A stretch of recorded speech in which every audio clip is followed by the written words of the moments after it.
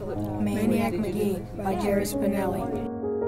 Maniac's parents died after a tragic train accident. He ran away from his uncle and aunt after the age of 11.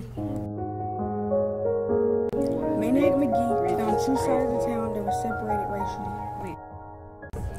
He also found two families from each side of the town.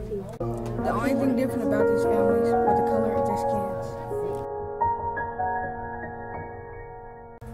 Can he bring these two sides of town together? Can he find an address to call home?